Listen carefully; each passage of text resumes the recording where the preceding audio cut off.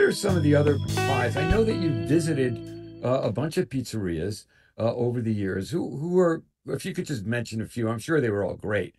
Who were some of the ones that you like? well, Jonathan Jonathan Goldsmith has one in Chicago, and it's the best Neapolitan pizza I've ever had.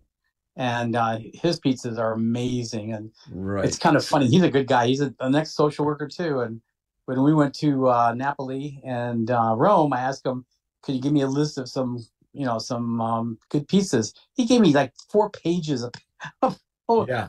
restaurants. I'm like, a shout uh, out to Jonathan. His his place is called Spaccanapoli in Chicago. What a wonderful guy. And oh, and uh, really good.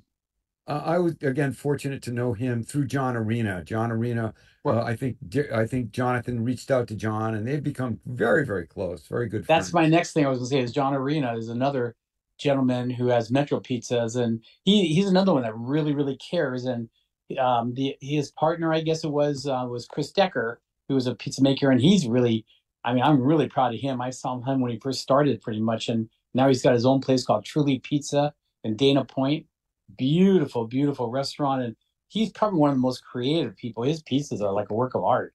Yeah. Oh my goodness Um, and they work. That's the Yeah. thing. You know, it's not just you know looking good and tasting bad is not the best thing, but when they look great and they taste great, oh, that's it. absolutely, absolutely. Just an amazing guy, and uh, and and he and Chris very very close. Tell me about Chris's place, which you've been to. Uh, it's a brand new place, or been open not Yeah, it's, it's it's about maybe a year old now. It's uh it's it's called Truly Pizza. It's in Dana Point, so it's a block away from the ocean. Um, it's kind of two story, modernistic, and just great pizzas. You know, he has a few other things, salad and stuff, but primarily pizzas and just um, beautiful artwork. And I don't remember.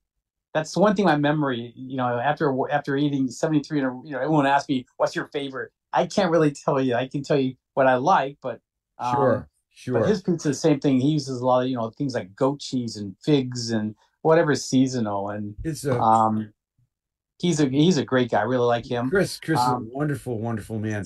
He has an incredible Instagram page where he showcases all the pizzas, and they are, you could take them and frame them, put them up on the wall. I mean, they're wonderful to eat, but they're works of art. I mean, it's Yeah, just beyond. They look so delicious and wonderful, and they taste just as good.